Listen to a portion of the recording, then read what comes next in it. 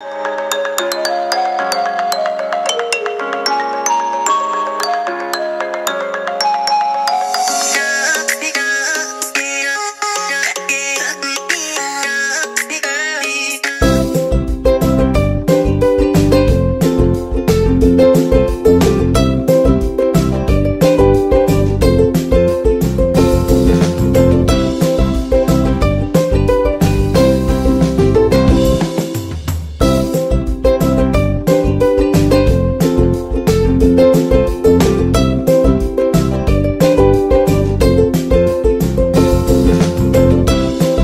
morning guys! So welcome back to my channel and this time we're on for another adventure. So I came back from Dubrovnik yesterday. The weather is too bad but today it's very sunny and I'm bringing you to one of Europe's smallest capital here in Podgorica, Montenegro. So it's a brand new day and I'm very excited to share to you what we can do in Podgorica for at least like 6 hours before I head back off to London. So let's go guys. I'm gonna bring my bag and we're off for an adventure. So stay tuned, be with me on this adventure and hope you will learn something as I feature you Podgorica, Montenegro.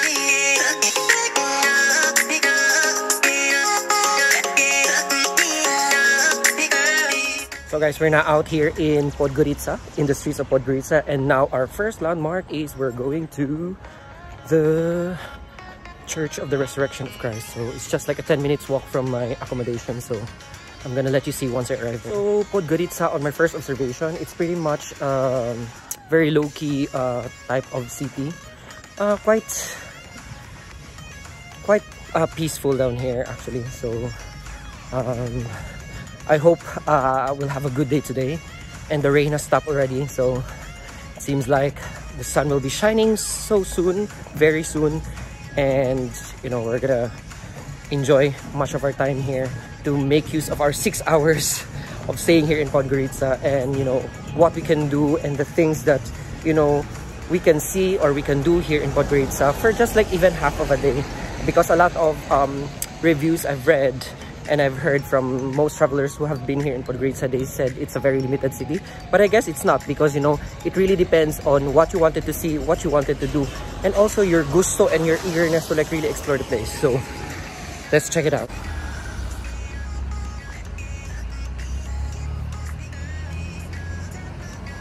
So you can see it from my side. There you go.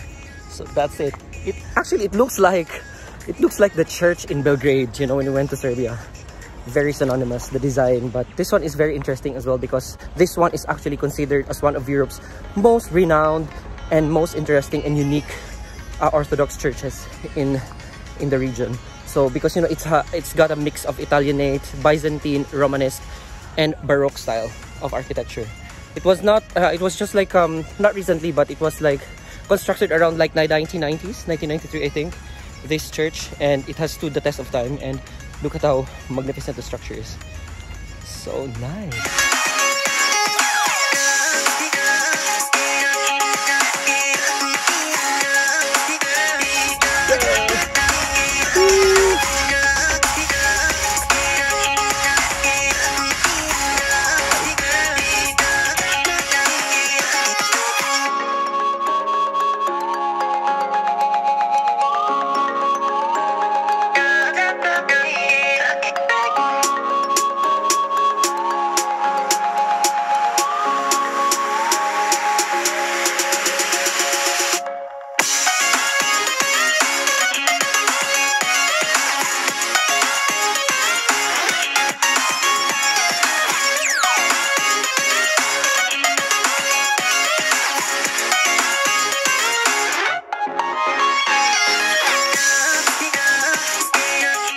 Finally done with exploring this church. So when I came inside uh, the church, I was so stunned. It's so magnificent.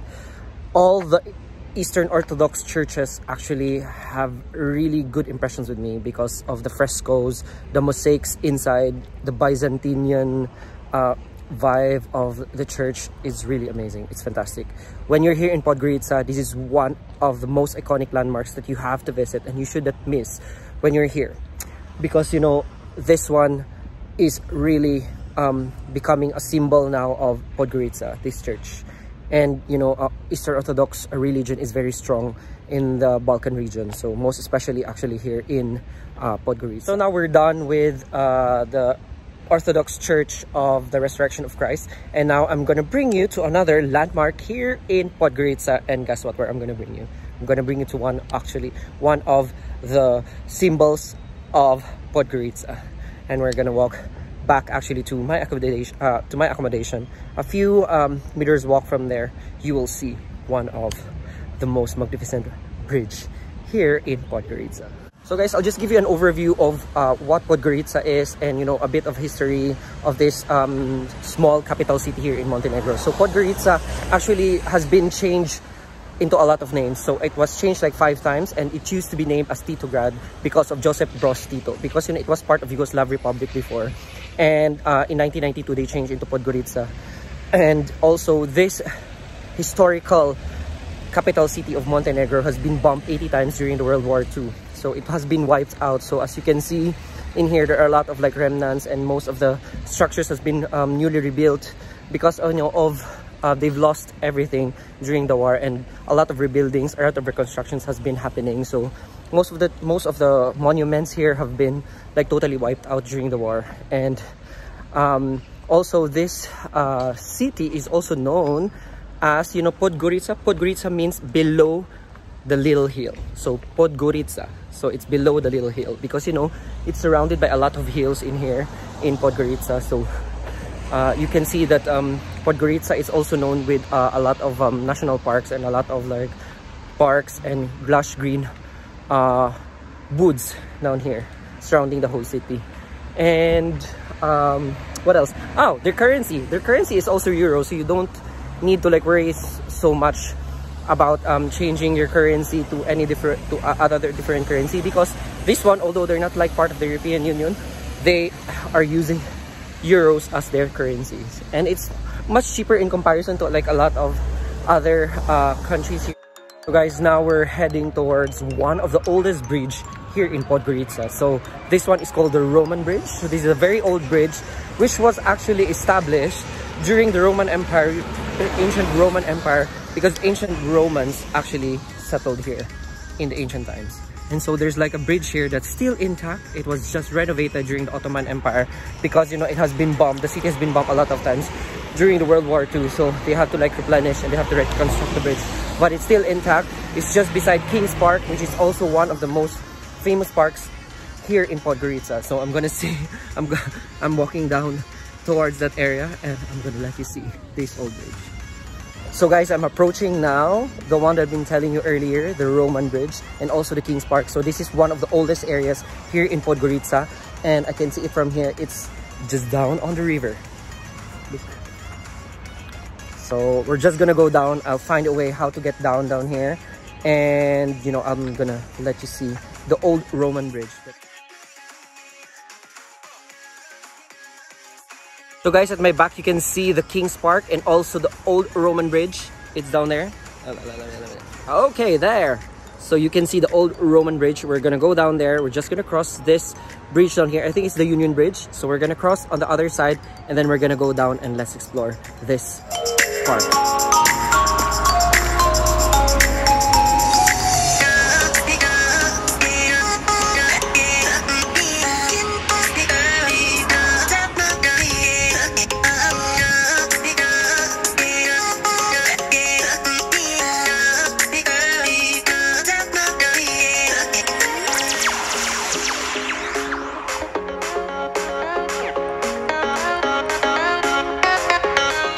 So we're now here in Kings Park. So finally, we just arrived. And look what I discovered. Their old Roman bridge is down here.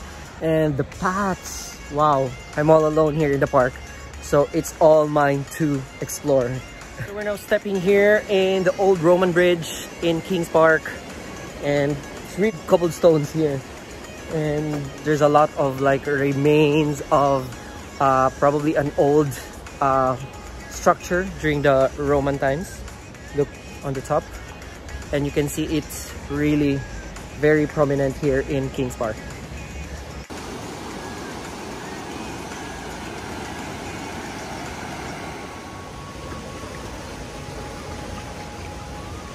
I had a good time here in Kings Park and also on the old Roman bridge, the old Ribnica bridge.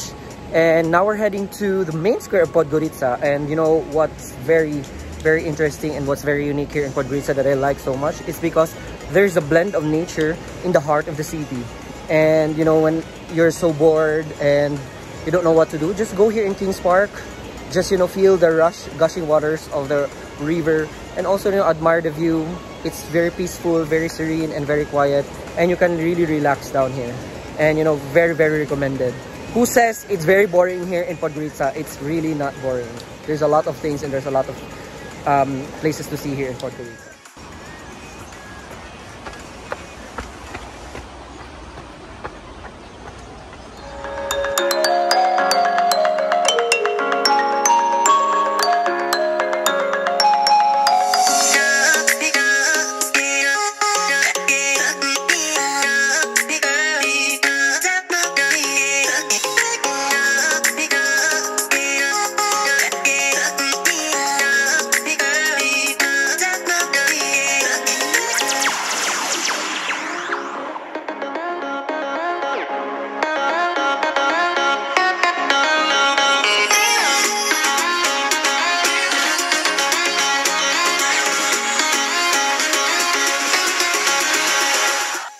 Podgorica. We're now heading to the city center of Podgorica.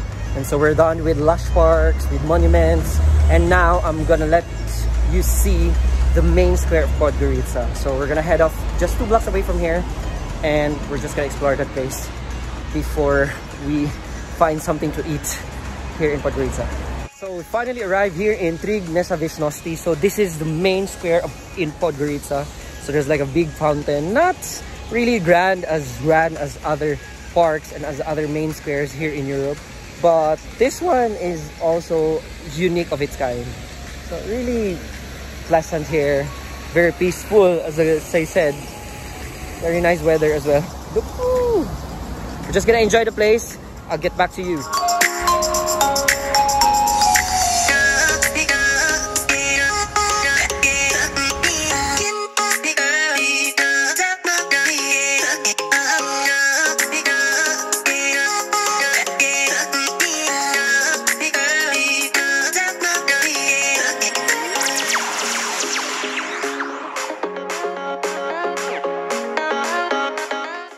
So had a very decent meal, guys. I had gyros here in Podgorica, very good. And so we're on again, back on track. And we're heading to the most iconic landmark here in Podgorica, which is the Millennium Bridge. So it's just in, fr in front of me and there's like loads of bridges here. As I said, it can be called as a city of bridges because um, beside the Millennium Bridge, we can find the Moscow Bridge and there's Union Bridge and there's other bridges as well in here. We're approaching already the bridge and I'll let you see how wonderful and magnificent this bridge is. I'm crossing now the Moscow Bridge and at the back of me is the famous bridge in Podgorica which is the Millennium Bridge. Wow, this is amazing. And there's a lot of bridges down here. Look, there are those bridges here, there, and this is the biggest one of all, the Millennium Bridge.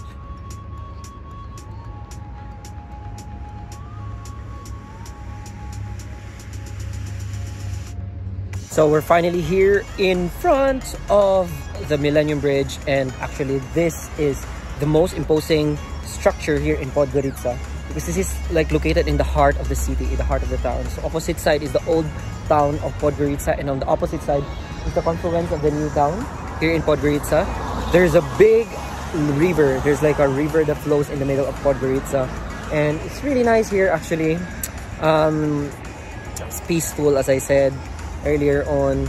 Um, people are quite reserved, but they're friendly.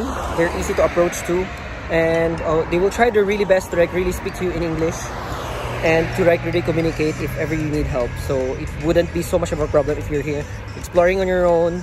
Really nice area, really nice city as well.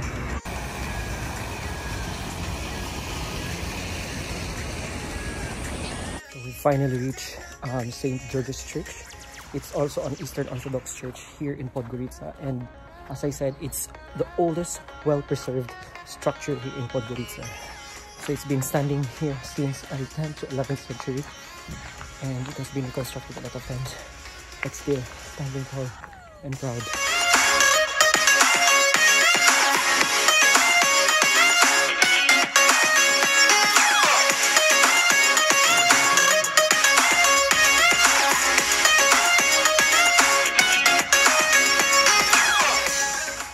So guys, that concludes our adventures here in Podgorica, Montenegro. I hope you learned something and I hope you enjoyed our adventures.